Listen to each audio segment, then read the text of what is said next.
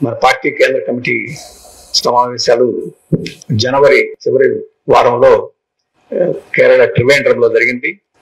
ఆ సమావేశంలో దేశంలో ప్రపంచంలో ప్రస్తుతం నెలకొని ఉన్న రాజకీయ పరిస్థితి గురించి ఆ పరిస్థితి నుంచి మనం నిర్వహించాల్సిన కర్తవ్యాల గురించి చర్చించింది.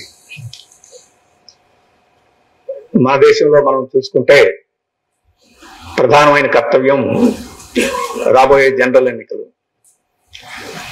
రెండు వేల ఇరవై నాలుగులో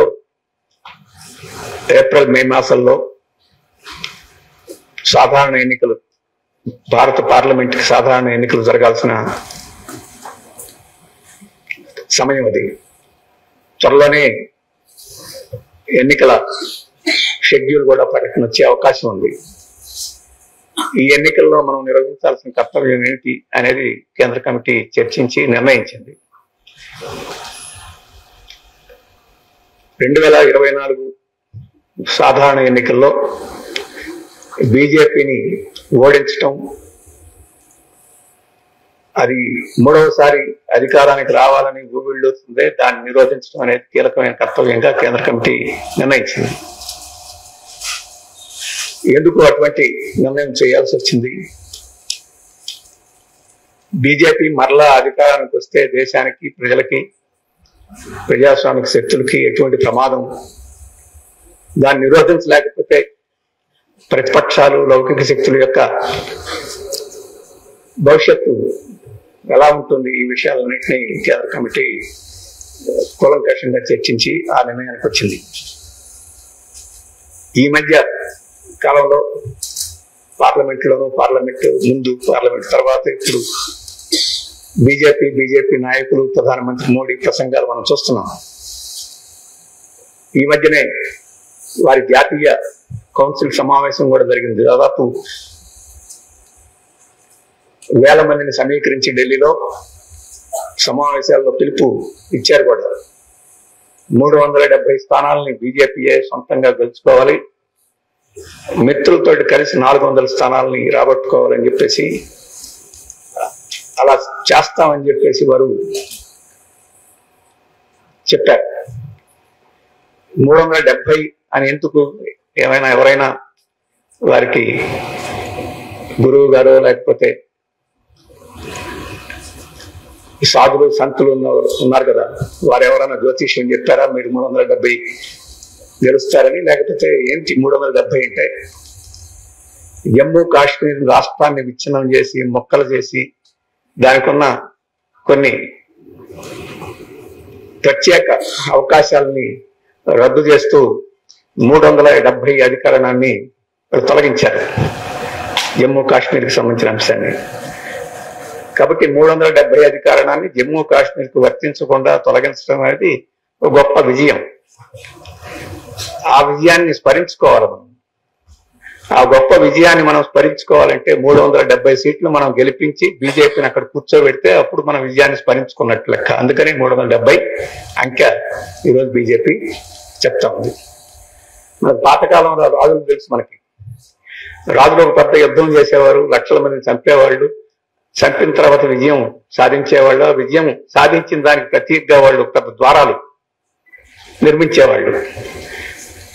లేదు పెద్ద కట్టడాలు నిర్మించేవాళ్ళు. అవి విజయ చిహ్నాలుగా వాళ్ళు చూపించేవాళ్ళు. ఇప్పుడు ఈ మూడు వందల డెబ్బై అంకె కూడా వాళ్ళకి అటువంటి విజయ చిహ్నంగా మనం అందరం ఇవ్వాలి వాళ్ళకి. లేకపోతే వాళ్ళని అవమానం చేసినట్టుగా ఉంటుందని. అందుకని అటువంటి సవాలు మేము జమ్మూ కాశ్మీర్ని లొంగదీసి దాన్ని మొక్కలు చేశాము. అంత గొప్ప విజయాన్ని సాధిస్తే మీరు దేశమంతా మమ్మల్ని వేణువాళ్ళ తొగిడి మూడు వందల డెబ్బై సీట్లు ఇచ్చి పార్లమెంట్ పంపరా అని చెప్పేసి మనల్ని సవాల్ చేస్తుంది బీజేపీ. అంటే ప్రజాస్వామ్యాన్ని కూని చేయడం కూడా గొప్ప విజయమే. లౌకికవాదాన్ని నాశనం చేయడం గొప్ప విజయమే. ఫెడరల్ వ్యవస్థను ధ్వంసం చేయడం విజయమే.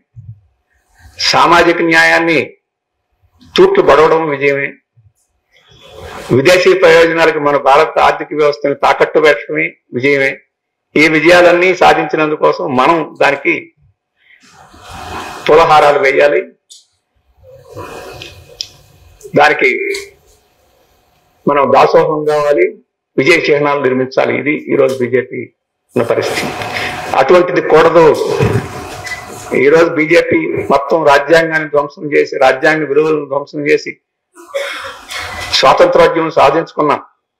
అనేక త్యాగాలు మరణాలు పోరాటాలు వీటన్నిటి ద్వారా స్వాతంత్రోద్యమం సాధించుకున్న విజయాలన్నింటినీ ఉఫ్ అని చెప్పేసి ఊదేస్తూ ఉంటే మనం కళ్ళప్పగించుకుని చూడటం అనేది అది సహించడానికి కాబట్టే మనం కృపనిశ్చయంతో బీజేపీని ఓడించడానికి సిద్ధం కావాలని చెప్పేసి కేంద్ర కమిటీ ప్రజలకి విజ్ఞప్తి చేసింది. ఈరోజు ఇంత తీవ్రంగా బీజేపీ అధికారంలోకి రాకూడదు మళ్ళీ అని సిపిఎం ఎందుకు భావిస్తుంది? ఈరోజు ప్రజాస్వామ్యం అనేది ఇప్పటికే చాలా భాగం హరించి వేయబడింది. వివరాలని మీకు తెలుసు. కానీ తాజాగా పార్లమెంట్ సమావేశాలు మీరు పరిశీలన చేస్తే దాదాపు ప్రతిపక్షాన్ని లేకుండా పార్లమెంట్ నుంచి గెంటేసి నూట నలభై ఆరు మంది పార్లమెంట్ సభ్యులను సస్పెండ్ చేసి బయటికి పెట్టేసి పార్లమెంట్ నడిపింది. పంతొమ్మిది బిల్లుల్ని ఆమోదించింది. చర్చ లేకుండా విమర్శ లేకుండా ప్రతిపక్షాల గొంతు లేకుండా పంతొమ్మిది బిల్లుల్ని అమలు చేసింది ఆమోదించింది. ఆ బిల్లుల్లో చాలా కీలకమైన బిల్లులు ఉన్నాయి. ఈరోజు CRPC criminal procedure code bill civil procedure code bill defence evidence act ఇటువంటి ముఖ్యమైన చట్టాలని ప్రజల నిత్య జీవితాన్ని ప్రభావితం చేసే ఈ ముఖ్యమైన చట్టాలని కొత్త పేర్లు పెట్టి వాటిలో అక్కడక్కడ ఉన్న మంచి విషయాలను తొలగించి ప్రజల యొక్క ప్రాథమిక హక్కుల్ని ప్రజలు తమ జీవితాన్ని స్వేచ్ఛగా జీవించే అవకాశాన్ని కూడా తొలగించే పద్ధతిలో ఈరోజు సవరణ చేసే ఆ బిల్లులను ఆమోదించింది. అవి ఈరోజు మనకి తక్షణం వాటి యొక్క పర్యవసానాలు అర్థం కాకపోవచ్చు. రేపు ఎన్నికల తర్వాత ఇంకో ప్రభుత్వం వాటిని అమలు జరిపినా ఈ ప్రభుత్వం వచ్చి వాటిని అమలు తాను కొనుక్కున్నా కానీ ఎంత ప్రమాదం మనకు ఆ రోజు అర్థమవుతుంది. అంతేకాదు మీడియా ప్రెస్ ఫ్రీడమ్ బిల్ అని ఒక చట్టం తీసుకొచ్చింది. ఆ చట్టమే కనుక అమల్లోకి వస్తే ఇప్పటికే పత్రికా స్వేచ్ఛ చాలా ప్రమాదంలో పడింది. ఎవరైనా స్వేచ్ఛగా మాట్లాడుతున్నారు ఎవరైనా స్వేచ్ఛగా రాస్తున్నారు ఎవరైనా వాస్తవాల్ని ఎండగడుతున్నారు ఎవరైనా విమర్శలు చేస్తున్నారు అసంతృప్తిని వ్యక్తం చేస్తున్నారు అంటే అటువంటి వాళ్ళ నోళ్ళు నొక్కేస్తున్నారు. నోళ్ళు మూతపడకపోతే జైల్లో కుక్కేస్తున్నారు. జైల్లో కుక్కేసినా కానీ వారి ప్రభావం విస్తృతంగా ఉందంటే వాళ్ళని ప్రాణాలని తీసేస్తున్నారు. అటువంటి పద్ధతిలో ఈరోజు ఉన్నది. మీకు తాజా ఉదాహరణ NewsClick. Chief editor Prabir Prakash అని చాలా అన్యాయంగా దుర్మార్గంగా తప్పుడు కేసులు పెట్టి ఈరోజు జైల్లో పెట్టి బెయిల్ రాకుండా చేసి విషయాలన్నీ మనం రోజు పేపర్లోనే చూస్తున్నాం. దీనికి ముందు అనేక మంది జర్నలిస్టుల్ని ఆ రకంగానే వేధించారు జైల్లో పెట్టారు. మేధావులు ఇప్పటికీ జైల్లో మగ్గుతూ ఉన్నారు. ప్రొఫెసర్లను ఉద్యోగాల నుంచి తొలగించారు. లొంగ తీసుకోవడానికి అదిరించి బెదిరించి చేశారు. ఇవన్నీ రోజు ప్రకటనలు చూస్తున్నాం. ఈ బిల్లే కనుక మళ్ళీ ఇంకా రూల్స్ ఇప్పుడు ఫ్రేమ్ అవుతున్నాయి. ఆ రూల్స్ ఫ్రేమ్ అయ్యి ఈ రోజు బిల్లు వచ్చిందంటే ఇప్పుడున్న ప్రజాస్వామిక హక్కులు స్వేచ్ఛ ఏ రకమైన పరిస్థితి వస్తుందో మనకు తెలుసు. అటువంటి పద్ధతిలో పార్లమెంట్ని నడిపింది బీజేపీ. ఎలక్షన్ కమిషన్ చాలా లోపాలు ఉన్నాయి. అయినా కానీ ఒక స్వతంత్ర వ్యవస్థగా ఇప్పటి వరకు ఉన్నది. అనేక అవకతవకలు జరుగుతున్నా మొత్తం మీద ఓ ప్రజాస్వామిక పద్ధతిలో ఎన్నికలు ఇప్పటి వరకు జరుగుతున్నాయి. అటువంటి ఎలక్షన్ కమిషన్ యొక్క స్వయం ప్రతిపత్తిని దెబ్బతిచ్చే పద్ధతిలో అది అధికారంలో ఉన్నవాడు ఎవడైతే వాడు చెప్పినట్టు నడుచుకునే పద్ధతిలో ఈరోజు ఎన్నికల కమిషన్ యొక్క నిర్మాణాన్ని సవరించేశారు. ఇంతకుముందు ఎన్నికల కమిషన్ని ప్రభుత్వం నియమించేసేది సుప్రీంకోర్టు చెప్పింది ఇది పద్ధతి కాదు అది స్వతంత్రమైన వ్యవస్థగా ఉండాలి. అందుకని ప్రధానమంత్రి ప్రతిపక్ష నాయకుడు అలాగే చీఫ్ జస్టిస్ ఆఫ్ ఇండియా వీళ్ళందరూ కలిసి నిర్మాణం చేయాలంటే చీఫ్ జస్టిస్ని తీసేసి ఇంకో కేబినెట్ మినిస్టర్ దాంట్లో నియామక కమిటీలో ఈరోజు కేంద్ర ప్రభుత్వం నియమిస్తూ చట్టం చేసింది. అంటే ఆ నియామక చట్టంలో ఒక న్యాయ వ్యవస్థకి అధిపతిగా ఉండే ఆయన ఈ రోజు ఒకరు ఉంటారు రేపు ఒకరు ఉండొచ్చు. అటువంటి వారికి కూడా భాగస్వాములు లేకుండా ప్రభుత్వ ప్రతినిధులే ఎక్కువ మంది ఉండేట్టుగా ఈరోజు చేసింది. ఆ రకంగా దాని స్వయం ప్రతిపత్తిని నాశనం చేయడానికి పూనుకుంది అంతేకాదు ఇప్పుడు కొత్త అంశాన్ని ముందుకు తీసుకొచ్చారు. వన్ నేషన్ వన్ ఎలక్షన్ ఇది ఒక నాటకం అయిపోయింది బీజేపీ. ఒక దేశం ఒక భాష ఒక దేశం ఒక మతం ఒక దేశం ఒక పన్ను ఒక దేశం ఒక రిజిస్ట్రేషన్ ఒక దేశం ఒక లైసెన్సు. ఇలా ఎన్నైనా చెప్పుకుంటూ పోవచ్చు. ఇప్పుడు ఒక దేశం ఒక ఎన్నిక. అంటే ఇంక దేశంలో ఇంకేం ఉండకూడదు. రాష్ట్రాలు ఉండకూడదు భాషలు ఉండకూడదు మతాలు ఉండకూడదు. వివిధ రకాల సంస్కృతులు ఉండకూడదు. వివిధ రకాల వేష భాషలు ఉండకూడదు వివిధ రకాల భోజన పద్ధతులు ఉండకూడదు వివిధ రకాల వివాహ కార్యక్రమాలు ఉండకూడదు. అంతా ఒక దేశం ఒక పద్ధతే. ఇప్పుడు తాజాగా రాజకీయాలకు వచ్చింది. వన్ నేషన్ వన్ ఎలక్షన్ అంటే పార్లమెంటుకు శాసనసభకి జిల్లా పరిషత్కి పంచా గ్రామ పంచాయతీకి కోఆపరేటివ్ సొసైటీకి అన్నిటికీ ఒకేసారి ఒకే పత్రలో ఎన్నికలు జరపాలి. అదేమిటంటే ఒకేసారి ఎన్నికలు జరిపితే ఖర్చు తగ్గుద్ది ఈ ఖర్చు తగ్గడం ద్వారా ప్రజాస్వామ్యాన్ని నడపాలని చెప్పేసేది అది ఫ్యాసిస్ట్ మాట. హిట్లర్ చెప్పిన మాట. జైలు ఎందుకు ఉండాలని చెప్పేసి హిట్లర్ అన్నాడు. జైళ్ళు మనం కూడా అంత పెద్ద ఇష్టమే పడం మనల్ని కూడా జైళ్ళు వేస్తుంటారు కాబట్టి. కానీ అది ఒక ప్రజాస్వామ్యం. అంటే ఒక నేరం చేసిన వాడిని నేరస్తుడిగా పరిగణించ లేకుండా విచారణ చేసి శిక్ష వేసి జైల్లో పెట్టి సంస్కరించేదానికి ప్రయత్నం ప్రయత్నం చేసి ఒక వ్యవస్థ అది హిట్లర్ ఏం చెప్పాడు? ఇవి అన్ని ఎందుకండి? జైలు ఖర్చు ఎందుకు జైలు కాపలా ఖర్చు ఎందుకు ఆ జైల్లో పెట్టడానికి కోర్టు కావాలి కోర్టులకు ఖర్చు ఎందుకు కోర్టులో వాదన చేయడానికి వాడికి ఎందుకు ఖర్చు? దాంట్లో జడ్జిమెంట్ ఇచ్చే జడ్జిలకి ఎందుకు ఖర్చు? నేరస్తుడు దొరకగానే వాడి తుపాకుతోటి కాల్చేస్తే ఈ ఖర్చులన్నీ మిలిగిపోతాయి అప్పుడు దేశం బాగా ముందుకు పోద్దని చెప్పేసి ఆ రోజు హిట్లర్ వాదన చేశాడు. ఇప్పుడు ఇవన్నీ ఎన్నికలు ఓ ప్రజాస్వామిక పద్ధతిలో జరిగితే చాలా ఖర్చు ఎక్కువ. ఎన్నికలు జరిపినప్పుడల్లా ఈఎంలు పెట్టాలి. ఎన్నికలు జరిపినప్పుడల్లా పోలీసులు కాపలా కాయాలి. ఇవన్నిటికీ ఖర్చు ఎక్కువ అవుతుంది అన్నిటిని ఒకేసారి పెట్టేస్తాం అని చెప్పేసి పత్రం ఉంది. అంటే ఇన్ని రాష్ట్రాలు ఉన్నాయి ఇది ఉపఖండం లాంటి ఒక్కొక్క రాష్ట్రం నాలుగైదు దేశాలతో సమానంగా ఉంది. నాలుగైదు ఇంక పది దేశాలతో సమానమైన రాష్ట్రాలు ఉన్నాయి. ఒక్కొక్క భాషలు ఉన్నాయి. ఇంత వైవిధ్యం ఉంది. ఒక్కోసారి రాష్ట్ర ప్రభుత్వాలు కూలిపోతుంటాయి. మళ్ళీ ఎన్నికవుతుంటాయి. రాష్ట్రపతి పరిపాలన పెడుతుంటారు మళ్ళీ ఎన్నికలు పెడుతుంటారు.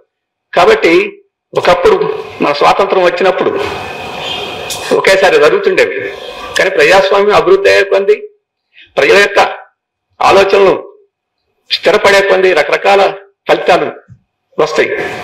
అటువంటి దాన్ని ఈరోజు నాశనం చేసి ఒకేసారి ఎన్నిక పెట్టడం ద్వారా కేంద్రంలో ఎవరైతే అధికారంలో ఉంటారో లేకపోతే ఒక నాయకుడు ఎవరైతే ఉంటారో అటువంటి వాళ్ళు చెప్పే వాదనే అటువంటి చెప్పే విధానాలే మొత్తం అన్ని స్థాయిల్లోనూ నిర్ణయం పాత్ర. అంటే ఈ రోజు మనం అన్వయిస్తే మోడీ గారిని చూసి పంచాయతీలో కూడా ఓటేయాలి మోడీ గారిని చూసి జిల్లా పరిషత్తులో కూడా ఓటేయాలి ఇంక ఇంకెవరు ఉండకూడదు అనే తప్ప. అంటే ఒక రకమైన నిరంకుశ పాలన అధ్యక్ష తరహా పాలన నియంత పాలన తీసుకురావడానికి ఇది దొడ్డుదావ తప్ప ఇంకోటి ఏం కాదు అని మార్క్సిస్ట్ పార్టీ మొదటి నుంచి విమర్శ చేస్తుంది ఇప్పటికి చాలా మంది పార్టీలు నోరు మూసుకొని ఉన్నాయి. ఇప్పుడు క్రమేణా మిగతా ప్రతిపక్ష పార్టీలు కూడా ఇది పద్ధతి కాదని చెప్పడం ప్రారంభించినాయి.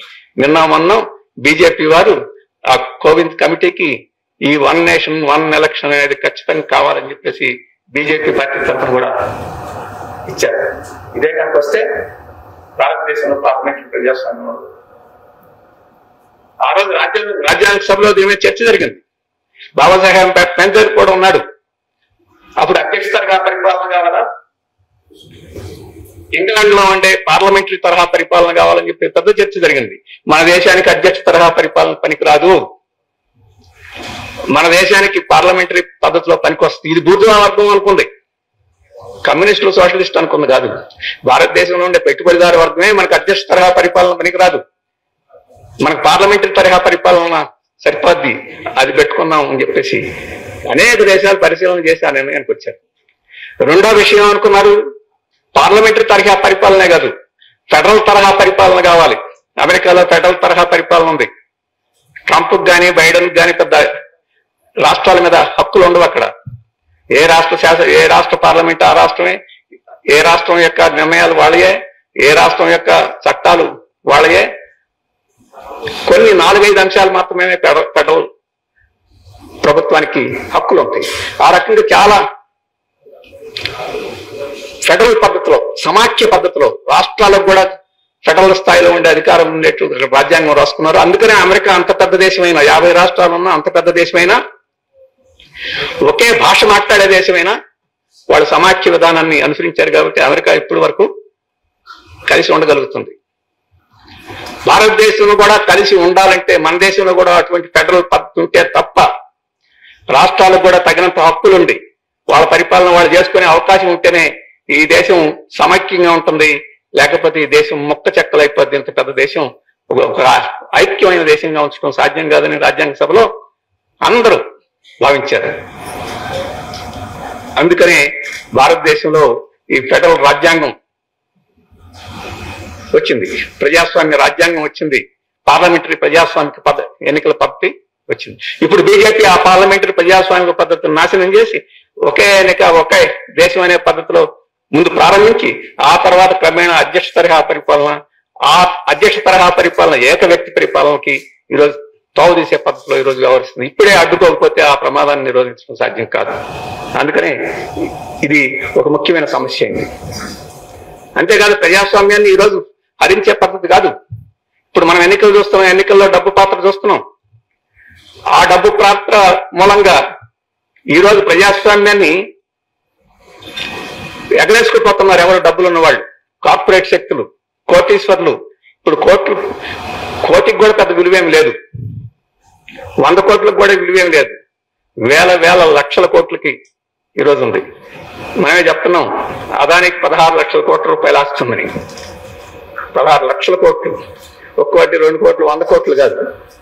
అటువంటి వాళ్ళు ఒక ఐదుగురు ఉన్నారు. ఇంకా తక్కువకి వస్తే ఇంకా చాలా మంది ఉన్నారు.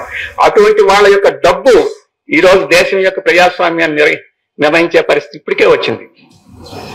దాని బీజేపీ వ్యవస్థీకృతం చేసేసింది. ఎలక్షన్ బాండ్స్ పేరుతోటి. ఈ మధ్యన సుప్రీంకోర్టు జడ్జిమెంట్ మీకు ఇచ్చింది తెలుసు. ఈ ఎన్నికల బాండ్లు అనేది చాలా ప్రజాస్వామ్యానికి హానికరమైనది ప్రమాదకరమైనది వీటిని రద్దు చేస్తున్నాం అని చెప్పేసి సుప్రీంకోర్టు చెప్పింది. సుప్రీంకోర్టు ఇవాళ చెప్పింది. ఎన్నికల బాండ్లు పెడతా ఉన్నప్పుడే సిపిఎం చెప్పింది ఈ ప్రజాస్వామ్యాన్ని కూలీ చేయడానికి ఇది అధ్యక్ష నియంత పరిపాలనని ముందుకు తీసుకెళ్ళడానికి ఇది ఉపయోగపడుద్ది కాబట్టి ఇది అంగీకరించకూడదని సిపిఎం ఆరోజు చెప్పింది. ఇవాళ సుప్రీంకోర్టు చెప్పింది.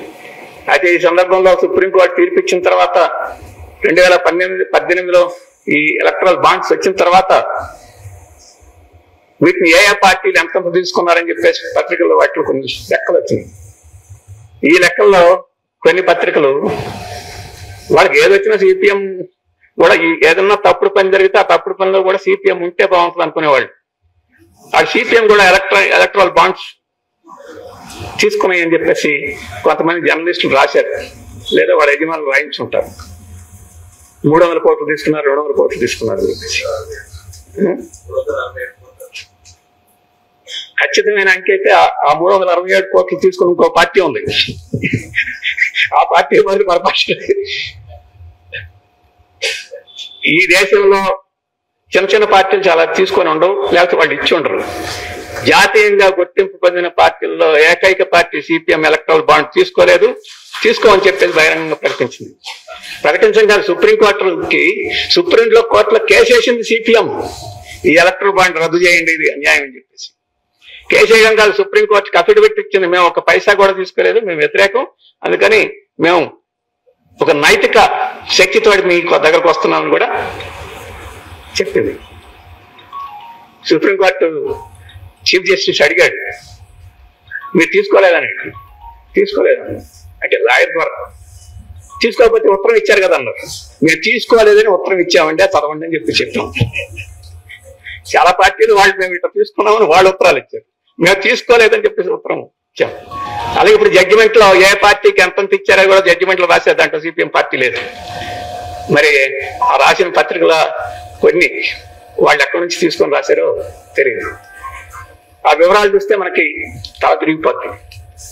రెండు వేల పద్దెనిమిది నుంచి రెండు వేల ఇరవై నాలుగు జాన్యువరి వరకు ముప్పై విడతలు ఈ బాండ్లు జారీ అయ్యి రాజకీయ పార్టీలు తీసుకున్నాయి. ఎన్ని కోట్లు తీసుకున్నాయి? పదహారు వేల ఐదు వందల పద్దెనిమిది కోట్లు తీసుకున్నాయి. పదహారు వేల కోట్లు. ఈ పదహారు వేల కోట్లలో బీజేపీకి ఎంత వచ్చినాయి? ఐదు వే ఆరు వేల ఐదు వందల అరవై ఐదు కోట్లు వచ్చినాయి పదహారు వేల కోట్లలో. అంటే దాదాపు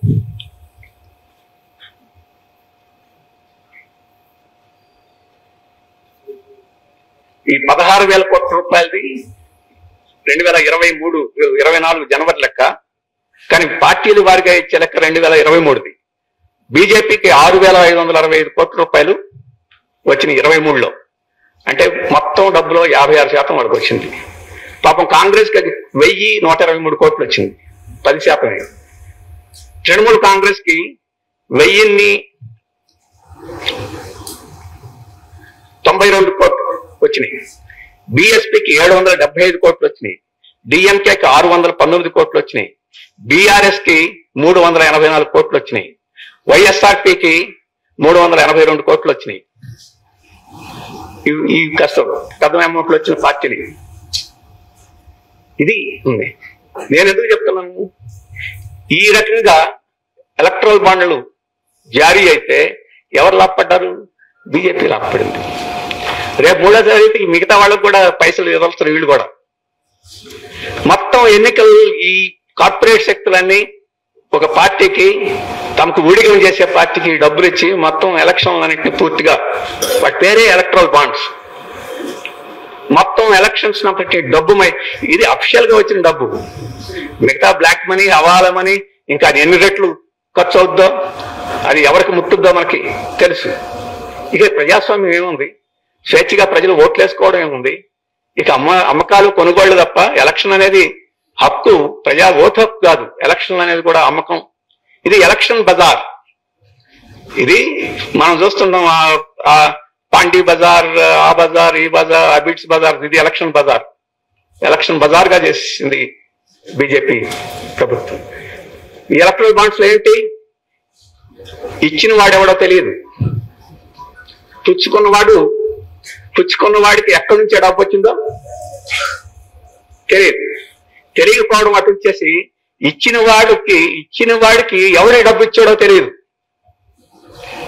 అసలు అసలు అసలు డబ్బులు ఎక్కడి నుంచి వచ్చే తెలియదు విదేశాల నుంచి వచ్చినాయా? విదేశీ కంపెనీల నుంచి వచ్చినాయా?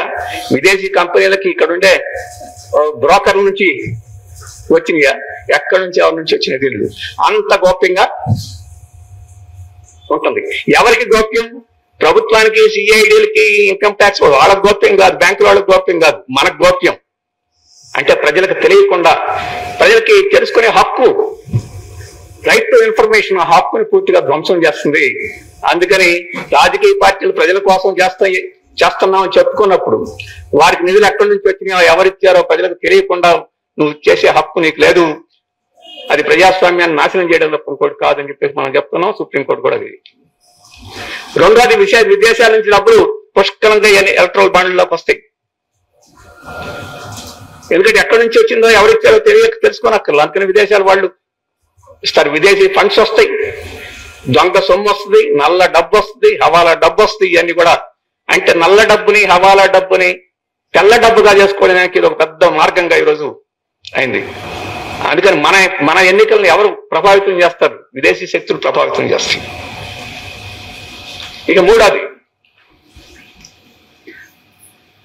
మన కార్పొరేట్ శక్తులు మనకు బాగా తెలిసిన పదం క్విక్ క్విక్ ప్రో కో. అంటే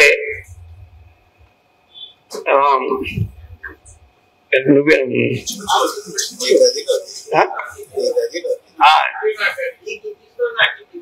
నీకది నాకు ఇది బాగానే ఉంది. నీ ఇంటికి వస్తే ఏమిస్తావు? నా ఇంటికి వస్తే ఏం చేస్తావు? అది మామూలు పాపులర్ పదం. అంటే ఈ- ఈ కార్పొరేట్ శక్తులు ఎలక్ట్రల్ బాండ్స్ ఎవరైతే ఇస్తారో నాకు ఫలాని పని చేసి పెట్టేదని నీకు ఇస్తున్నానని చెప్పేసి దాని ప్రతిగా ఈ ప్రభుత్వం ఆ పని చేసే పెట్టే పడుతుంది ఈ పదేళ్ళ చరిత్ర చూస్తే బీజేపీ ఎవరికి పనిచేసిందో మనకు తెలుసు. అందుకని బీజేపీకి ఆరు వేల కోట్ల రూపాయలు ఎక్కడి నుంచి వచ్చింది కూడా పెద్ద కనిపెట్టడం కష్టం. కాదు అవన్నీ మనకు తెలుసు. అదానీలు అంబానీలు వీళ్ళందరూ రేపు ఎలక్ట్రల్ బాండ్స్ అన్నింటినీ ఎక్కడి నుంచి వచ్చినాయి కూడా పసిగడితే మనకు తెలుస్తుంది. ఇందాక చెప్పిన అది ఒక పద్మవ్యూహం అంత సులభం కాదు. అందుకని ఇప్పుడే మళ్ళీ బీజేపీ వెళుద్దో లేదో తెలియదు బీజేపీ అనుయాయులు ఫ్రెండ్స్ ఇప్పుడు అందరూ ఒకసారి తీసుకొచ్చారు. మాకు మీ పేర్లు ఎవరికి చెప్పమని చెప్పేసి మాకు వాగ్దానం చేసి మా దగ్గర డబ్బు తీసుకున్నారు కాబట్టి మీరు ఇప్పుడు వాటన్నిటిని బయట పెట్టడం అనేది వాగ్దాన భంగం. చట్ట విరుద్ధం మీరు చెప్పేదానికి లేదని చెప్పేసి ఇక నుంచి కావాల్సి ఉంటే చెప్పుకోండి.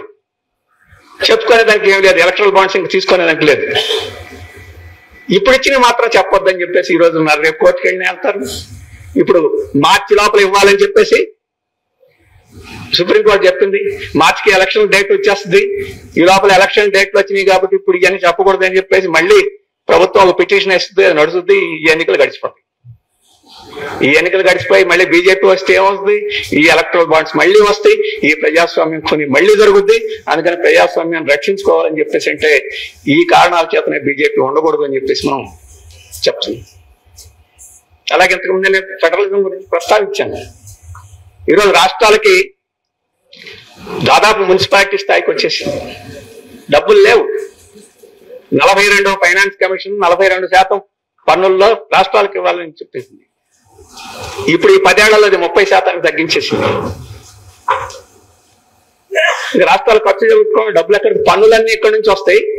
కానీ వాటా మాత్రం వాళ్ళే తీసుకుంటారు. అలాగే పన్నుల్లో జిఎస్టి పన్నుల్లో రాష్ట్రాలకు వాటా ఇవ్వాలి ఎక్కువ డబ్బు చూపిస్తే. అందుకని రాష్ట్రాలు ఇవ్వకుండా రాష్ట్రాలకు ఇవ్వకూడని సబ్ఛార్జీలు సెస్సుల రూపంలో డబ్బు ఎప్పుడెప్పుడు వసూలు చేస్తుంది? మీరు చూడండి పెట్రోల్ కొన్నామంటే దాని మీద సబ్ఛార్జీ ఉంటుంది. ఎలక్ట్రిసిటీ బిల్లులో మీకు సబ్ఛార్జీ ఉంటుంది. అలాగే ఎడ్యుకేషన్ సెల్ సెస్ ఆ సెస్ ఈ సెస్ సెస్లు ఉంటాయి.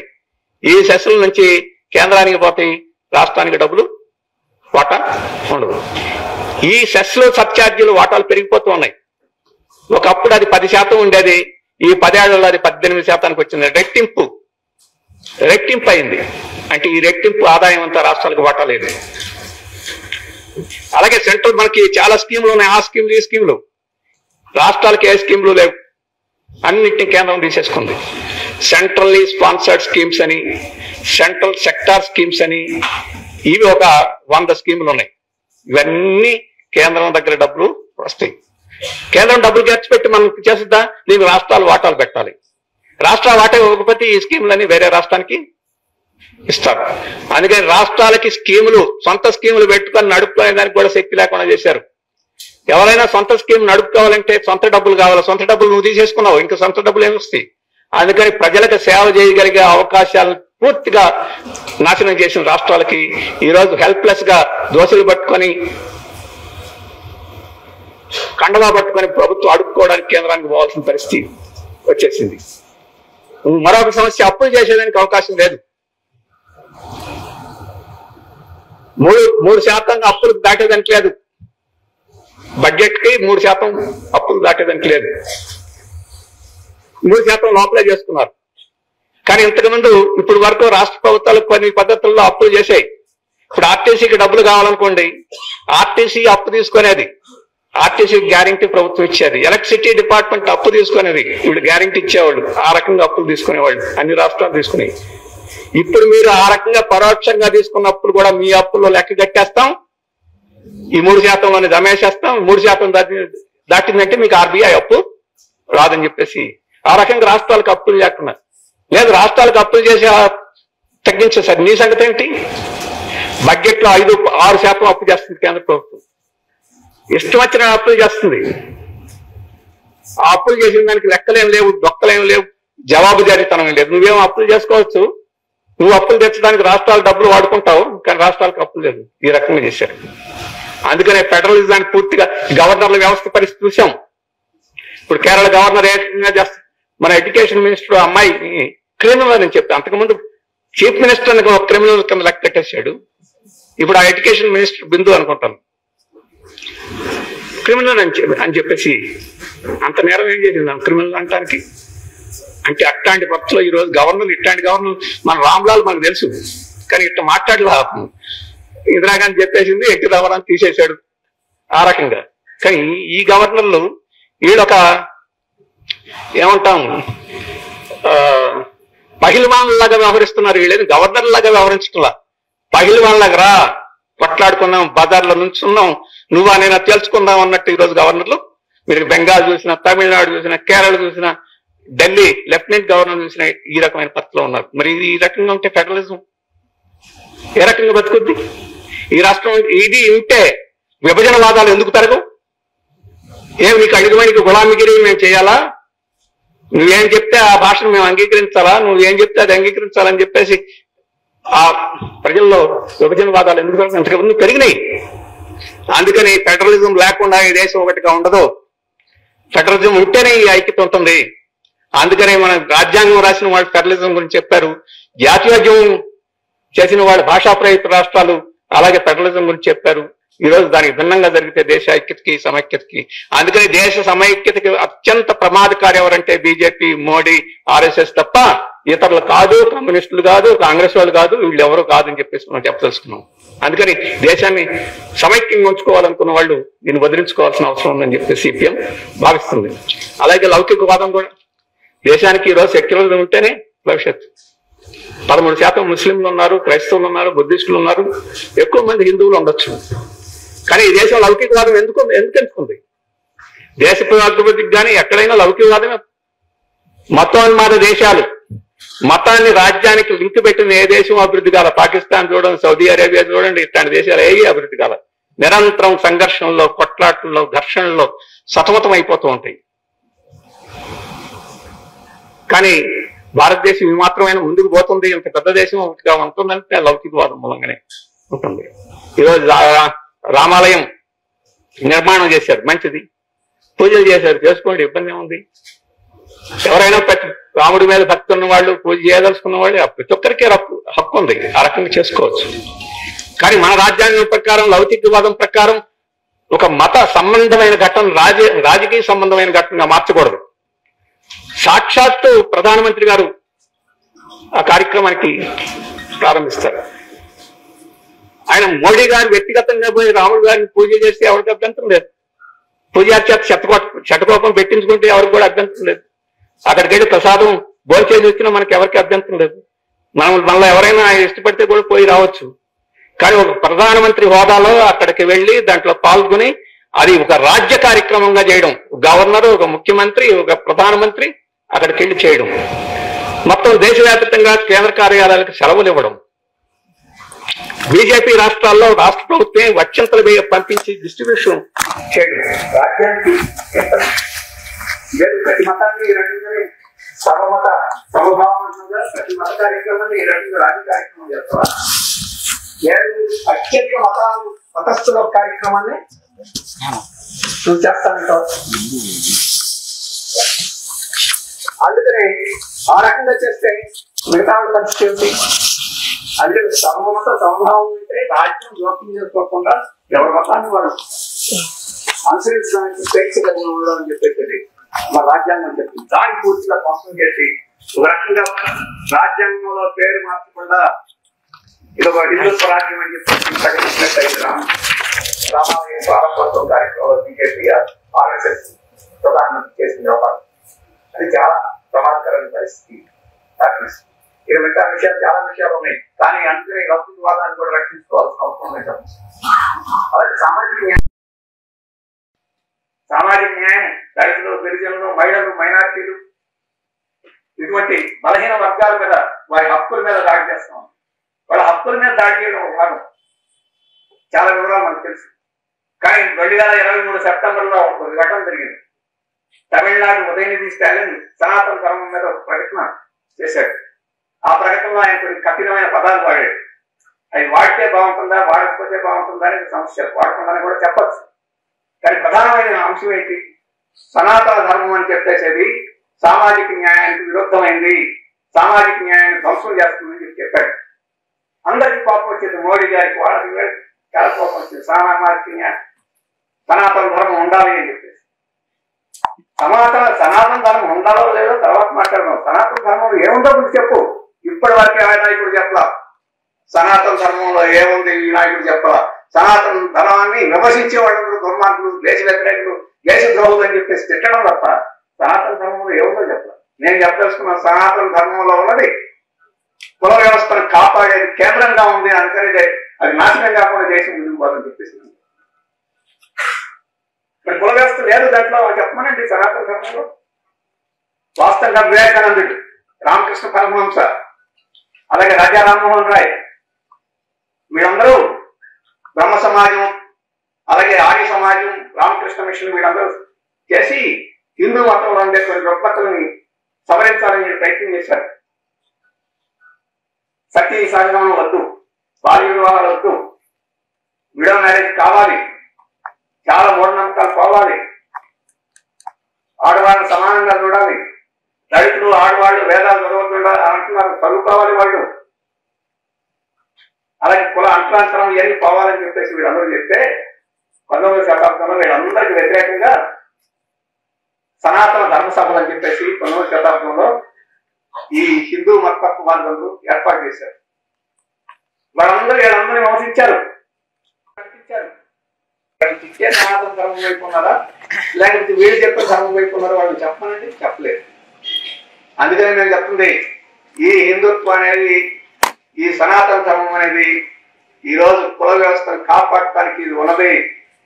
ఇప్పటికీ మోడీ గారిని ఇది కుల వ్యవస్థను కాపాడటానికి ఉన్నామో? ధ్వంసం చేయడం ఉన్నామో? ఇప్పటివరకు చెప్పలేదు. అలాగే పితృస్వామి వ్యవస్థను కాపాడటానికి ఉన్నది అని చెప్తుంది. అటువంటి శక్తులు ఈరోజు భారతదేశాన్ని మళ్ళీ పరిపాలన చేస్తామంటే అటువంటి పద్ధతులు వస్తే సామాజిక న్యాయం గురించి ఏం మాట్లాడు అలాగే మన దేశం యొక్క ఇప్పటి వరకు కారణాలు నిలబడి ఆర్థికంగా ముందుకు పోతున్నాం. మన ఆర్థిక స్వావలంబన కూడా ప్రమాదమే. నిన్న మొన్న మీరు పేపర్లో చూసుంటారు. ఒక ఆరు నెలల క్రితం కూడా చూశారు. అమెరికా తోటి వడంబడిక చేసుకుంది మోడీ ప్రభుత్వం. ఆరు నెలల క్రితం ఆరు నెలల క్రితం కొంత ముందే అమెరికా నుంచి కోడి కాడం దిగుమతి చేసుకునే ఒప్పందం చేసుకున్నారు. అంతకుముందు కోడికాళ్ళని దిగుమతి చేసేదానికి లేకుండా నిషేధం విధించారు. దిగుమతి చేసుకోవడానికి ఒప్పందం చేశారు. ఒప్పందం చేసినప్పుడు ముప్పై శాతం నుంచి పన్ను ఐదు శాతాన్ని తగ్గించారు. రెండు రోజుల క్రితం కోడికాళ్ళే కాదు. ఇప్పుడు బాతు బాతు మాంసాన్ని దిగుమతి చేసుకోవడానికి కూడా ఒడంబడి చేశారు. అదే కాదు టర్కీ గిన్నె కోళ్ళని గిన్నె కోళ్ళ మాంసాన్ని దిగుమతి చేసుకోవడానికి ఒప్పందం చేశారు. అలాగే ఈ మాంసంలో నుండే అవయవాలు ఏ ఉన్నాయో కాద్యం పేదలు ఏమంటారు? ఇవన్నీ దిగుమతి చేసుకోవడానికి ఇవన్నీ వెజిటేరియన్ లాగా అనిపిస్తుంది మనకి. ఎందుకంటే బీజేపీ వారు వీటన్నిటి దిగుమతి చేసుకోవడానికి అందుకే భారతదేశంలో వెజిటేరియన్ తినండి వెజిటేరియన్ తినండి వెజిటేరియన్ తినండి అని చెప్పేసి ఒకవైపు ప్రచారం చేస్తూ వీటన్నిటి దిగుమతి చేసుకోవడానికి ఆ దిగుమతి చేసుకోవడానికి ఇప్పటి వరకు వసూలు చేసే పన్నుని ముప్పై శాతం నుంచి ఐదు శాతానికి తగ్గిస్తాయి. ఇది వెజిటేరియన్ నాన్ వెజిటేరియన్ తగాద మనకు అక్కర్లేదు. బీజేపీ వాడికి వదిలేసుగా కానీ ఈ దేశంలో కోళ్ళ పరిశ్రమ ఏం కావాలి? ఈ దేశంలో ఇవన్నీ కావాలి? ఆ దేశాల నుంచి వాళ్ళకి అవసరం లేని వాటిని ఇక్కడ డంప్ చేసే ఒక కేంద్రంగా భారతదేశాన్ని ఈరోజు చేస్తూ మేక్ ఇన్ ఇండియా. ఇవన్నీ మేక్ ఇన్ ఇండియా అంటే make in America. Imported from America imported by BJP వీటన్నిటికి బ్రాండ్ బీజేపీ బ్రాండ్ పెట్టాలి ఇప్పుడు ఇది ఈ రకంగా దేశాన్ని ఇది తాజా ఉదాహరణ చాలా ఉదాహరణలు చెప్పుకోవచ్చు. అటువంటి పద్ధతిలో మన దేశం యొక్క ఆర్థిక వ్యవస్థని విచ్ఛిన్నం చేసే పద్ధతులు వ్యవహరిస్తాం ఈరోజు రైతులు ఏం చేస్తున్నారు? మాకు ఎంఎస్పీ ఇవ్వమంటున్నారు. ఢిల్లీలో గిట్టుబాటు చట్టం ఏమంటున్నారు చట్ట మద్దతు కల్పించమన్నారు. దాంట్లో ఒప్పుకోవడం ఇప్పుడు అదే చెప్తాను మీరు వడ్లు దాని వడ్లో గోధుమలు వేయడం మానేసేయండి. మీరు జొన్నలు సద్దలు ఇట్లాంటివన్నీ వేయండి. అప్పుడు ఆలోచిస్తామండి. డైవర్సిఫికేషన్ ఇంతకుముందు ఇక్కడ కేసీఆర్ వరి యుద్ధం చెప్పేసి అంటే పెద్ద దగ్గర వచ్చింది కదా. ఇది అందరూ సిద్ధాంతం అని.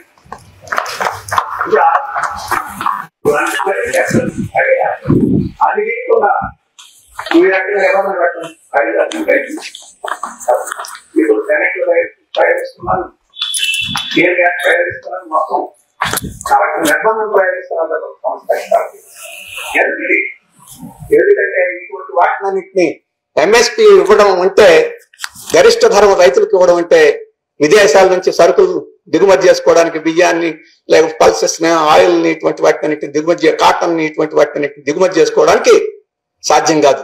అందుకనే వాటినన్నింటినీ అనుమతించాలి అని చెప్తుంటే ఇక్కడ ఎంఎస్పి లాంటివన్నీ పెట్టకూడదు. ఎంఎస్పి అనేది పెడితే రైతులకు ధర వస్తుంది. ఎంఎస్పి లేకపోతే రైతులకు తక్కువ ధరకు వస్తుంది. ఇక్కడ తక్కువ ధరకి రైతులు నష్టపోతూ ఉంటే అప్పుడు విదేశీ సరుకులకి ఎక్కువ గిరాకీ పెరుగుద్ది. అందుకని ఇటువంటి అలాగే రైతులు దివాళా తీసి కార్మికులుగా పట్టణాలకు వస్తే అక్కడ కూడా జీతాలు మత్యాలు చౌకగా దొరుకుతాయి. శాసగా దొరుకుతాయి. అందుకని అది ఆ కొత్త దీని వెనక ఉన్నది. అందుకని ఆర్థికంగా ఈరోజు దేశాన్ని ఇదే విధానాలు చేస్తే అందరికీ నష్టం జరుగుద్దని కాదు. ఇంతకుముందు చెప్పానే వన్ పర్సెంట్. అంబానీలు అదానీలు తాతాలు ఇప్పుడు ఐదు కంపెనీల పేర్లు చెప్పారు. తాత అంబానీ అలాగే బిర్లా ఇటువంటి కంపెనీలు ఒక ఐదు ఉన్నాయి. ఈ ఐదు కంపెనీలకి లక్షల కోట్ల రూపాయలు ఉంది. వాళ్ళకి తోడు ఇంకొంతమందికి కొన్ని వేల కోట్లు లక్షల కోట్లు అవుతాయి. నూటికి తొంభై తొమ్మిది మంది సాధారణమైన ప్రజానికానికి ఆర్థికంగా చాలా ఇబ్బంది జరుగుతుంది. ఇప్పటికే చాలా ఆర్థిక వ్యవస్థ దెబ్బతింటా ఉంది. మ్యానుఫ్యాక్చరింగ్ సెక్టర్ దెబ్బతింది అన్ఎంప్లాయ్మెంట్ పెరిగిపోతుంది. అలాగే మన యొక్క హ్యూమన్ డెవలప్మెంట్ ఇండెక్స్ అంటే దారిద్ర్య రేఖ రేఖ అంటే బహుళ గణాంకాల ప్రాతిపదిక మీద వేసే ఆ సంఖ్య కూడా పెరిగిపోతుంది. ఇవన్నీ మనం చూస్తున్నప్పుడు ఈ దేశం యొక్క ప్రజల యొక్క సాధారణమైన జీవన పరిస్థితులను మెరుగు చేసుకోవాలన్నా కానీ ఈ బీజేపీని వదిలించుకోవాల్సి ఉంటుంది. అందుకనే సిపిఎం గట్టిగా నమ్ముతుంది ఏంటంటే మనం ఆ వైపు నుంచి ఆ వైపు కృషి చేయాలి. అయితే మనకు ఒక మన సిపిఎం వైపు ఒక సాల్ట్ మన శక్తి పరిమితం. కేరళలో బలంగా ఉన్నాం అక్కడ ప్రయత్నం చేయొచ్చు. దాని తర్వాత బెంగాల్ త్రిపురలో కూడా బలంగా ఉన్నాం కొంత కృషి చేయొచ్చు. దేశవ్యాప్తంగా అంత శక్తి లేదు. మన గొంతుకి శక్తి తప్ప మన ప్రజలందరినీ సమీకరించి మనం ఒంటరిగానే చేయగలిగిన పరిస్థితి లేదు. అందుకనే ఒక విశాలమైన శక్తులన్నింటినీ కూడగట్టి బీజేపీని అధికారంకి రాకుండా బలహీనం చేసే కార్యక్రమం చేయాలని చెప్పేసి ఈ పార్టీ కేంద్ర కమిటీ అందుకని మనం అన్ని శక్తుల్ని కూడగట్టే ప్రక్రియలో భాగమే మనం ప్రోత్సహించాం మనం కూడా చురుగ్గా కృషి చేసాం. ఇండియా అనే బృందం ఏర్పడింది ప్లాట్ఫామ్ ఏర్పడింది. దాంట్లో చాలా పార్టీలు ఉన్నాయి వామపక్ష పార్టీలు ఉన్నాయి. కాంగ్రెస్ ఉంది ఎన్సిపి ఉంది శివసేన ఒక బాల్ ఠాక్రే ఉంది. అలాగే మమతా బెనర్జీ ఉంది ఆప్ ఉంది అఖిలేష్ ఉన్నాయి. ఇట్లాంటి అనేక పార్టీలు ఉన్నాయి. ఈ పార్టీలన్నీ కలిసి ఎవరి శక్తిని వాళ్ళ శక్తిని ఒక చోట కలబోసుకొని ఆ రకంగా మన శక్తి ద్వారా బీజేపీని నిలవరించాలని చెప్పేసి నిర్ణయానికి వచ్చాం. కృషి చేస్తున్నాం. ఈ కృషిలో ఇబ్బందులు ఉన్నాయి. ఎన్ని? ఈ పార్టీల మధ్య వైవిధ్యాలు కూడా ఉన్నాయి. సిపిఎం కాంగ్రెస్ ఈరోజు కేరళలో పోటీ పడుతుంది. బెంగాల్లో తృణమూల్ సిపిఎం కూడా పోటీ ఉంది ఆప్కి కాంగ్రెస్కి ఇటువంటి వైరుధ్యాలు ఉన్నాయి. అందుకని సిపిఎం చెప్పి ఈ వైరుధ్యాలన్నీ ఉన్నా గాని సాధ్యమైనంత వరకు బీజేపీ ఉన్న చోట మనం ఈ వైరుధ్యాలను పక్కన పెట్టి మనం సహకరించుకొని రాష్ట్రాల స్థాయిలో నిర్ణయాలు తీసుకొని పోటీ చేసి బీజేపీని ఓడించాలని చెప్పేసి నిర్ణయం తీసుకున్నాం. ఈ నిర్ణయం బీజేపీని వణుకు పుట్టిస్తుంది బీజేపీకి. అందుకనే గంభీరమైన మాటలు మాట్లాడుతున్నారు. మూడు వందల డెబ్బై నాలుగు వందల మాట్లాడుతున్నారు. ఇప్పుడు ఎక్కడైనా ఒక పోచిక పూల దొరికినా కానీ పట్టుకోవాలని చెప్పేసి ఇప్పుడు ప్రయత్నం చేస్తా ఉన్నారు. నితీష్ కుమార్కి మరి ఏం ఎరేశారు నితీష్ కుమార్ పట్టుకోవడానికి ప్రయత్నం చేశారు. ఇప్పుడు అక్కడ తెలుగుదేశం జనసేన పట్టుకోవాలని ప్రయత్నం చేస్తున్నారు. ఇక్కడ పత్రికల్లో చూస్తే బీఆర్ఎస్ కూడా పట్టుకోవాలని ప్రయత్నం చేస్తున్నాను పత్రికల్లో.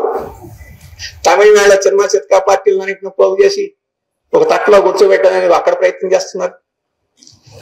అందుకని వాళ్ళు మళ్ళీ భయం ఏమో ఏమవుతుందో పది సంవత్సరాలు పరిపాలన చేసాం ఇన్ని రకాల రాజ్యాంగాన్ని ధ్వంసం చేసే కార్యక్రమం చేసాం ఒక్కొక్క తరగతికి ఒక్కో రకమైన కోపం ఈ రోజు మన మీద ఉంది.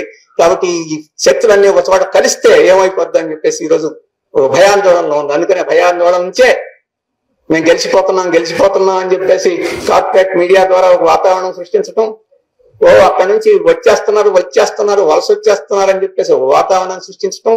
మేము పెద్దవాళ్ళు అవుతున్నాం వాళ్ళు మాతో కలుస్తున్నారు వీటితో మాతో కలుస్తున్నారు అని చెప్పేసి ఒక వాతావరణం సృష్టించడం.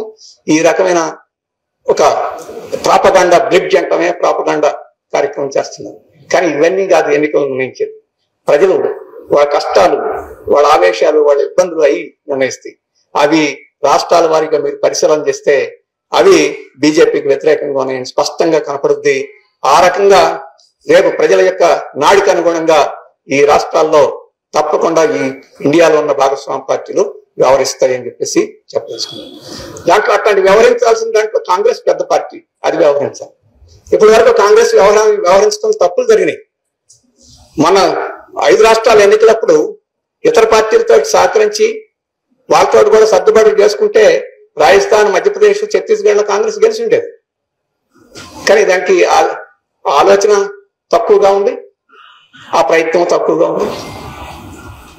అలాగే బీజేపీ మతోన్మాదాన్ని పోరాడాలంటే వీళ్ళు కూడా చిన్న చిన్న మతోన్మాదాన్ని ప్రయోగించి దాన్ని ఓడించాలని ప్రయత్నం చేశారు. బీజేపీ వాళ్ళు నాలుగు గుడ్లు తిరిగితే వీళ్ళు మూడు గుడ్లు తిరిగారు. వారు నాలుగు దేవాళ్ళు బొమ్మలను అక్కడ పెడితే వీళ్ళు పద్దేవాళ్ళు మంది బొమ్మలు పెట్టేదానికి ప్రయత్నం చేశారు. హిందుత్వ సిద్ధాంతాన్ని మళ్ళీ చిన్న హిందుత్వ సిద్ధాంతం ద్వారా ఓడించడం సాధ్యం కాదు. ఆ సిద్ధాంతాన్ని లౌకికవాద సిద్ధాంతం ద్వారానే సా- ఓడించడం సాధ్యమవుతుంది అని చెప్పేసి సిపిఎం మొదటి నుంచి చెప్తుంది. ఇప్పుడు కాంగ్రెస్ ఆ లోపాలని గుణపాఠాలను నేర్చుకొని వ్యవహరించడానికి ప్రయత్నం చేస్తుంది ఆ అది గట్టిగా ప్రయత్నం చేస్తే తప్పకుండా ఈ ప్రధానమైన ప్రాంతీయ పార్టీలు లేని హిందీ ప్రాంతంలో బీజేపీని నిలవరించేదంటే అవకాశం ఉంది. ఇప్పటికే బీజేపీ గరిష్ట స్థాయిలో గెలిచింది ఇక అక్కడ సీట్లు తగ్గడమే. సీట్లు తగ్గడం కాదు. అక్కడ బీజేపీని కనిష్ట స్థాయికి తీసుకువెళ్ళడానికి అందరూ కృషి అక్కడ చేయాల్సిన అవసరం ఉంది. ఆ ప్రయత్నాలు జరుగుతున్నాయి. ఈరోజు యూపీలో ఎస్పీకి కాంగ్రెస్కి మధ్య సీట్లు వడంబడికి పూర్తయిపోయినట్టుగా పత్రికలో కూడా వచ్చింది. క్రమక్రమేణా ఒక్కొక్క రాష్ట్రంలో వైరుధ్యాలు పరిష్కరించుకొని సీట్ల సర్దుబాటును తీసుకుని ముందుకు పోయే అవకాశం ఉంది. అందుకని ఈ రోజు మీడియాలో ఒక బీజేపీ సృష్టించడానికి ప్రయత్నం చేస్తున్న వాతావరణం కాదు వాస్తవం. వాస్తవం ఏంటంటే ప్రజలు ఈ రోజు అనేక కారణాలతో ఈ రోజు బీజేపీని సాగనంపడానికి సిద్ధంగా ఉన్నారు. ప్రతిపక్షాలు అటువంటి దాన్ని గమనించి ఈ ఐక్యతను పెంపొందించేదానికి కృషి చేస్తున్నాయి. అది తప్పకుండా ఒక కొలిక్ వచ్చి ఈరోజు బీజేపీని అందరూ ఆ సమైక్యం ఎదుర్కొనే పరిస్థితి రాబోయే కాలంలో వస్తుందని చెప్పేసి మనం గమనించవచ్చు. రాజకీయ వాతావరణం చూస్తే మీకు అర్థమవుతుంది. ఇక ఇక్కడ తెలంగాణలో పరిస్థితి. ఇవాళ బీజేపీ కిషన్ రెడ్డి గారు అంటున్నారు. పదిహేడు పదిహేడు మావే ఈ కాంగ్రెస్కి బీఆర్ఎస్ కేస్తే మూసీలో పడ్డట్టే అని చెప్పేసి అన్నాడు. ఓట్లేసిన వాళ్ళు మూసీలో పట్టడం కాదు. నువ్వే మూసీలో పడిపోతావు. ఈరోజు తెలంగాణ ప్రజలు ఆ రకమైన స్థితి సాగడం అనుకున్నారు మునుగోడు ఎన్నికల ముందు ఏవో ఎట్లా ఉంది బీజేపీ? మునుగోడు ఎన్నికలు ఏం చేసింది బీజేపీకి? దానికి అడుగు ఓడగొట్టేసి ఆ రోజు అంతా బీజేపీ వారి ప్రగల్భాలు పలికే తెలంగాణలో వచ్చేస్తుంది వచ్చేస్తుందని చెప్పేసి. ఆ రోజు వామపక్షాలు ఒక నిర్ణయం తీసుకొని బీజేపీని ఓడించడం మా కర్తవ్యం అని చెప్పేసి ఆ రోజు అక్కడ కాంగ్రెస్కి బీఆర్ఎస్కి మద్దతు ఇచ్చింది కాబట్టి ఓడిపోయింది కాబట్టి దాని ఆశలు పూర్తిగా దెబ్బతినిపోయి ఆ తర్వాత చర్చలు పడిపోయింది. మళ్ళీ రేపు పార్లమెంట్ ఎన్నికల్లో మోడీ గారి బొమ్మను చూపించి మళ్ళీ ఏదో చేయాలని ప్రయత్నం చేస్తుంది. మన ఐదు శాతం ఓట్లు తగ్గినాయి. అంతకుముందు పంతొమ్మిది శాతం వచ్చినాయి పార్లమెంట్ ఎన్నికల్లో. శాసనసభలో ఐదు శాతం తగ్గినాయి. మళ్ళీ ఈ పార్లమెంట్ ఎన్నికల్లో శాసనసభ ఎన్నికల్లో. ఇప్పుడు పార్లమెంట్ ఎన్నికల్లో ఐదు శాతం కాదు. ఇంకా ఈ రాష్ట్రంలో బీజేపీకి మళ్ళీ ఏదో పెరుగుదామనే ఆశ లేకుండా చేసే కార్యక్రమం మనం ఈరోజు చేయాల్సిన అవసరం ఉంది. అందుకోసం సిపిఎం కృషి చేయాల్సిన అవసరం ఉంది.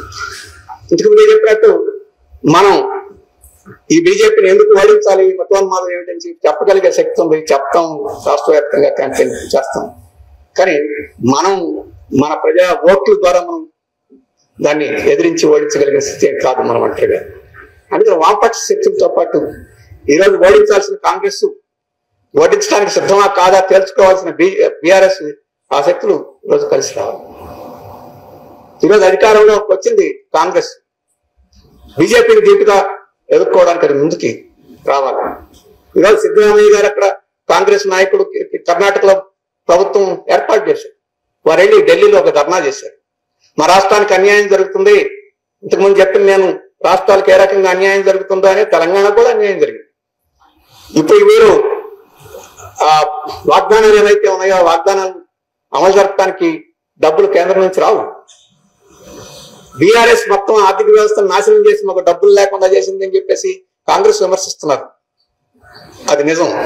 కానీ బీఆర్ఎస్ఏ కాదు ఈ రాష్ట్రానికి డబ్బులు లేకుండా నాశనం చేసింది కేంద్రంలో ఉన్న మోడీ ప్రభుత్వం బీజేపీ ప్రభుత్వం కూడా ఈ రాష్ట్రానికి డబ్బులు లేకుండా నాశనం చేసింది. అది కూడా మాట్లాడారు అందుకని ఈరోజు రేవంత్ రెడ్డి గారికి నేను విజ్ఞప్తి చేసిందంటే బీజేపీ మీద కూడా పోట్లాడాలి. బీజేపీ ఈ రాష్ట్రానికి చేసిన అన్యాయాన్ని ఎత్తి చూపాలి. ఆ రకంగా బీజేపీ దుష్పరిపాలనలో జరిగిన అన్యాయాన్ని కూడా మీరు ఎలాగో చెప్తున్నారు కంటిన్యూ చేయొచ్చు. కానీ బీజేపీని విస్మరించడం కాదు. ప్రత్యక్షంగా ఇక్కడ మనం పోటాపోటీగా ఉన్నాం కాబట్టి పరస్పరం విమర్శించుకుంటాం. తప్పలేదు. కానీ బీజేపీని సందులో సడేమియాలాగా బీజేపీ తప్పించుకునేదానికి అవకాశం లేదు. బీజేపీ మీద కూడా చేయాలి. అనేది రాష్ట్ర ప్రభుత్వానికి ముఖ్యమంత్రి గారికి విజ్ఞప్తి చేసేది ఏంటంటే మీరు కేంద్ర ప్రభుత్వం తెలంగాణకి ఎలా అన్యాయం చేసిందో మీరు అన్ని వైట్ పేపర్స్ గురించి మాట్లాడుతున్నారు కదా? ఇప్పుడు తెలంగాణకి కేంద్ర ప్రభుత్వం బీజేపీ ఎలా అన్యాయం చేసిందో వైట్ పేపర్ ప్రకటించండి. కర్ణాటకలో ఏ రకంగా అయితే వారు ఆందోళన చేశారో. ఈ పార్టీలన్నింటినీ సమీకరించి అక్కడ తమ మనకు రావాల్సిన వాటా గురించి వీటన్నిటి గురించి అక్కడ కార్యక్రమాన్ని నిర్వహించండి. ఆ రకంగా ఇక్కడ బీజేపీ వ్యతిరేక శక్తుల్ని మనం సమైక్యం చేసి ముందుకు పోవడానికి అవకాశం ఉంటుందని చెప్పేసి ఆయనకి నేను విజ్ఞప్తి చేస్తున్నాను. అలాగే కరుగుదనం కూడా ప్రదర్శించండి. అలాగే ఈరోజు బీఆర్ఎస్ వారు ఉన్నారు. ఈ- ఈరోజు కవిత గారికి సమన్లు వచ్చినాయి అంటున్నారు. అది సమంలా గాలమా మనకు అర్థం కాదు. త్వరలోనే అర్థం అవుతుంది గాలమా? ఏమిటనేది. ఆ గాలంలో పడితే అంతే చేప దొరుకుద్ది ఆ తర్వాత గుట్టక వేసేస్తారు అందుకని మీరు ఒక పార్టీగా ఉండాలన్నా. ఈ రాష్ట్రంలో బీజేపీకి నూకలు లేకుండా చేయాలి లౌకికవాదాన్ని కాపాడాలి ప్రజల తరఫు నిలబడాలి బీజేపీ పంచన చేరాలంటే వాళ్ళందరూ గుట్కాయ స్వహాయే. అది కూడా మీకు ఆ పరిస్థితి వస్తుంది. ఈ శాసనసభ ఎన్నికల ముందు కారణం ఏమైనా? కొన్ని విమర్శలు చేశారు. ఇప్పుడు ఏం చేస్తారని చెప్పేసి ముఖ్యం. కాబట్టి ఎవరు గెలుస్తారా ఎవరు ఓడతారా విభాగం అయితే ఈ రోజు అందరం కలిసి బీజేపీ బీజేపీని ప్రజల్లో వంటలు చేయడం అని చెప్పేసి ముఖ్యం. దానికి అందరూ ముందుకు రావాలి. బీజేపీ బీఆర్ఎస్ ముందుకు వస్తా లేకపోతే సలాన్ సలాం కొట్టేసేసి దాసోహం వద్ద తెలుసుకోవాల్సిన సమయం వచ్చింది అని చెప్పేసి నేను భావిస్తున్నాను. వారు ఏ రకమైన పద్ధతిలో ఎన్ని చేసినా కానీ సిపిఎం మాత్రం తన యొక్క బాధ్యతని నిర్వహించాలి మనమందరం నిర్వహించాలి. ఏ మూల ఎక్కడున్న ప్రజల దగ్గరికి వెళ్ళి ఈ రోజు ఈ దేశానికి పీడ వదిలించాలంటే ఈ రాష్ట్రంలో కూడా మనం ఈ బీజేపీని పైకి చూసే కార్యక్రమం కాదు కిందకు చూసుకునే కార్యక్రమమే చేయాలి. ఆ రకంగా మనం కృషి చేయాలని చెప్పేసి ప్రజలకి విజ్ఞప్తి చేయాల్సి ఉంటుంది. అలాగే చాలా సమస్యలు కూడా ఉన్నాయి. ఈరోజు కరువు వచ్చింది. ఈరోజు మీరు తీర్మానాలు కూడా చాలా చేస్తున్నారు. ఈ రాజకీయాల్లో ఎవరు గెలుస్తారు ఎవరు ఓడతారు ఒక సమస్య దాని గురించి ఎప్పుడు ఆలోచిస్తుంటాం. కానీ మనం ఎప్పుడు మర్చిపోతాం ఏమిటంటే ప్రజా సమస్యల గురించి. రైతుల సమస్యల గురించి కానీ వ్యవసాయ కార్మికులు పని లేకపోవడం సంబంధించి కానీ కనీస వేతనాలు లేకపోవడం సంబంధించి కానీ ఇప్పుడు రైతులు ఈ ధరణ పేరుతోటి వాటి పేరుతోటి ఈ రోజు ల్యాండ్ ఎంటైక్ ఎంటైటిల్మెంట్ పేరుతోటి అంటే భూ మార్కెట్ కూడా డెవలప్ చేయాలి. అంటే భూ అమ్మకాలని కొనుగోలుని చాలా సులభం చేయాలని చెప్పేసి ఈ రోజు బీజేపీ ప్రభుత్వం రాష్ట్రాల మీద ఒత్తిడి చేస్తుంది. ఆ ఒత్తిడి మూలంగానే ఇప్పుడు ధరణి కార్యక్రమాలు ఇట్లాంటివన్నీ ఏదో గొప్పగా రైతులకు మేలు చేయడానికి చేసాం అంటున్నారు. ఇక్కడ ఇక్కడ దేశం మొత్తం మీద. అది భూ విక్రయ క్రయ విక్రయాల్ని చాలా సులభం చేసేదానికి పెద్ద పెద్ద పెట్టుబడిదారులు కూడా ఎన్ని ఎకరాలైనా సులభంగా ఆన్లైన్లో కొనుక్కునే దానికి వీలైన పద్ధతిలో ఈరోజు ఇవన్నీ ఏర్పాట్లు జరుగుతున్నాయి. వాళ్ళు ఏం ఏర్పాట్లు చేస్తారని కాదు. దానివల్ల సామాన్య రైతాంగం నష్టపోకుండా మనం నిలబడాల్సిన పరిస్థితి ఉంది. ఇంతకు ముందు మనం చాలా పోరాటాలు ఇక్కడ చేసాము ఇళ్ళ స్థలాల కోసం పోరాటం చేసాం అవన్నీ చెప్తారు. అలాగే పొడి భూముల కోసం చేసాం ఇటువంటివన్నీ ఉన్నాయి. ఈ ఈ సమస్యల్ని మనం వదిలిపెట్టకూడదు ఎన్నికల పేరుతోటి. ఎక్కడ ఏ రకంగా కష్టాల్లో ఉన్న వాటిని ముందుకు తీసుకెళ్ళి ప్రజల తరఫున నిలబడాలి. ఆ నిలబెడితే ఇవాళ ఎన్నికల్లో ఓడతాం గెలుస్తాం ఓటు తగ్గుతాయి పెరుగుతాయి. అయినా ఈ పోరాటాల ద్వారా మనం ముందుకు వెళ్తాం వాటిని బట్టి కాదని చెప్పేసి అది మీరందరూ గమనంలో పెట్టుకొని మనం రాబోయే కాలంలో పార్టీ కేంద్ర కమిటీ నిర్ణయానుసారంగా రాజకీయ కర్తవ్యాన్ని నిర్వహించేదానికి కృషి చేయాలని చెప్పేసి విజ్ఞప్తి చేస్తూ సెలవు. నమస్కారం.